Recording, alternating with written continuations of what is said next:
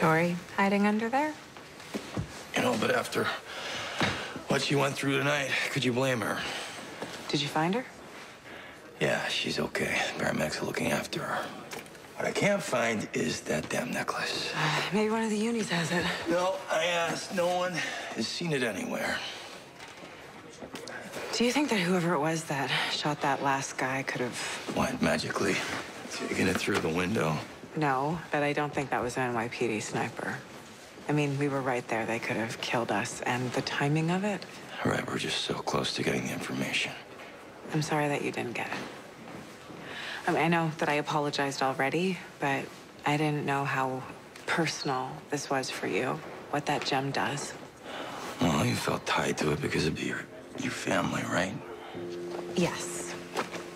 But uh, a 200-year-old relative versus something that has present-day power over you, I think that you win. You know what? Tell me this. Why would someone want a gem that controls beasts unless they already have or they're creating ones exactly like Tori and me?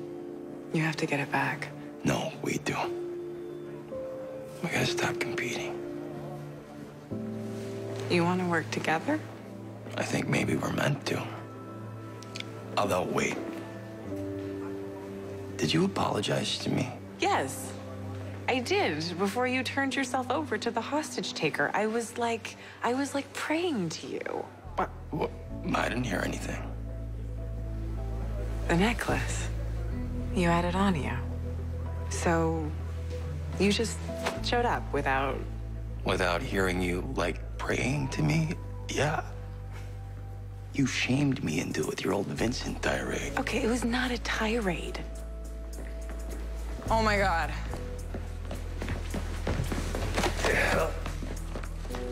You're the reason I'm dirty. Well, they're uh, they're better than your twenties, at least for most people, huh? You ready to go? Yeah. Do you want to come? We're we're just gonna celebrate my birthday, survival, new friends. Well, I would love to, but I um, I should probably go and get Tori home. You should come. Yeah. Uh, I can't. Uh, can you let me know if that necklace shows up? Okay. All right. Happy birthday, Tess. Thanks.